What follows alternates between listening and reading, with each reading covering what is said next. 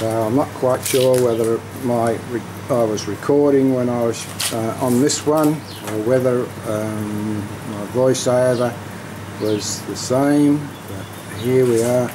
back and as I was saying I uh, was sending the other painting to my friend Twinket76 and uh, mistakenly went onto YouTube and that's how that uh, that painting and the yellow cottage uh, was on the YouTube